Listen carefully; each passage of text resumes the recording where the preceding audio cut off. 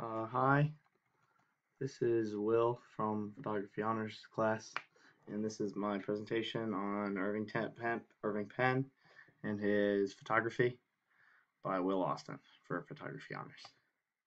Uh, so a little bit about Penn's life.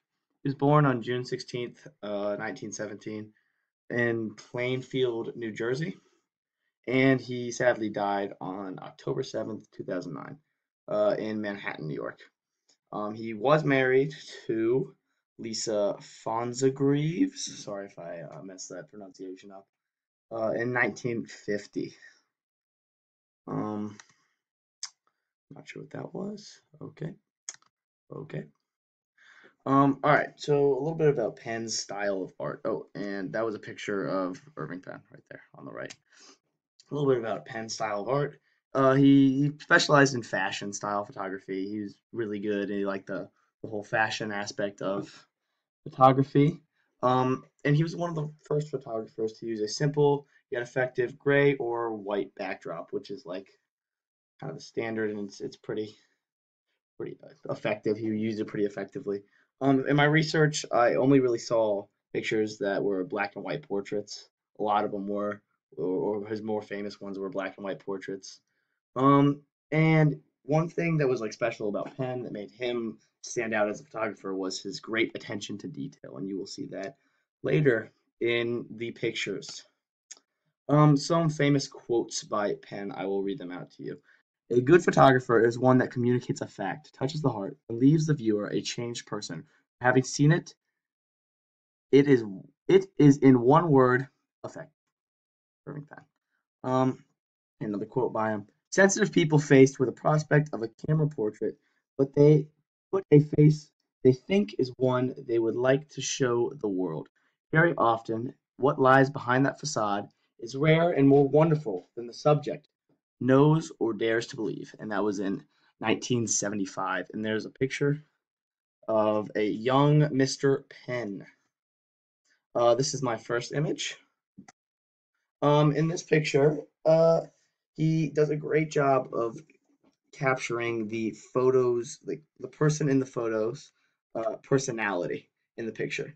Um, the first glance, without any background information on this person, you can tell that in the picture he's a young, suave, witty young man just by his facial expressions and his, the way he's sitting in the chair.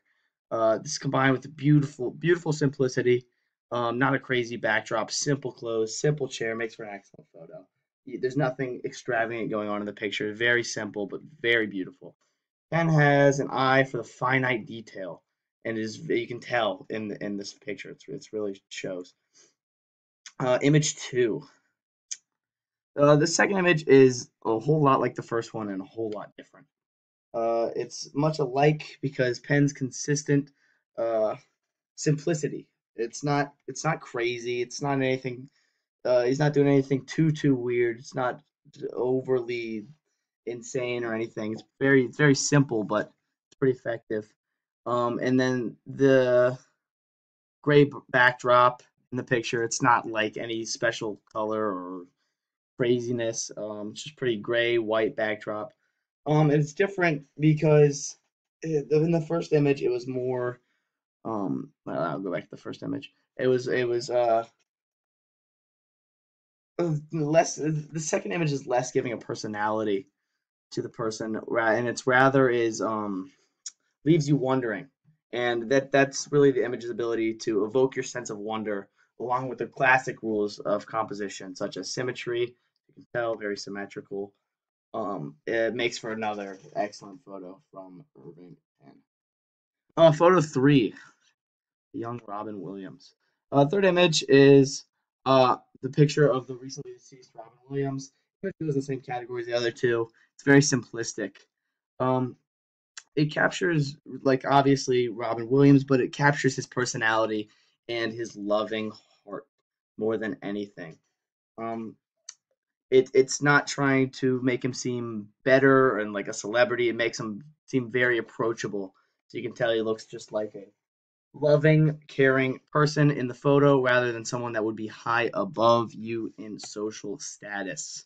As I mentioned before, Penn's capability to uh, to small detail details, sorry, and make everything look right. Um, in this photo, he does this, even the small details like the way the hat's angled or the hand placement, it's all on purpose.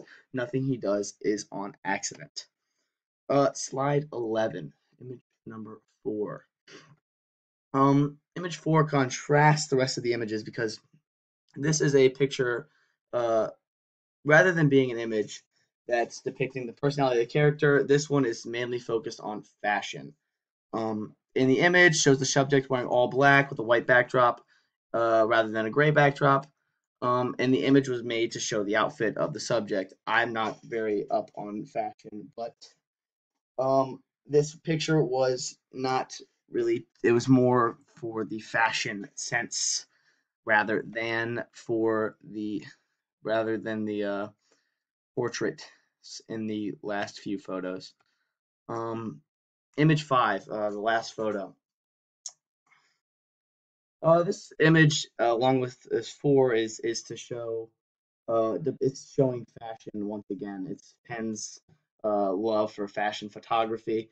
Um, for a short time, Penn worked for Vogue magazine, um, or for for my fault, a significant amount of time. Penn worked for Vogue magazine, and it has a simple. It's again very simple picture.